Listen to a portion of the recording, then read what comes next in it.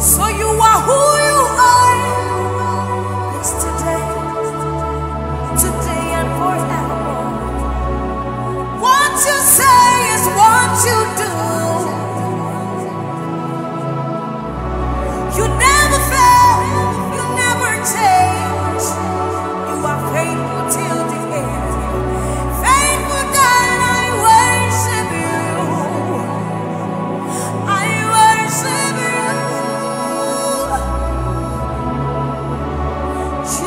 hearts of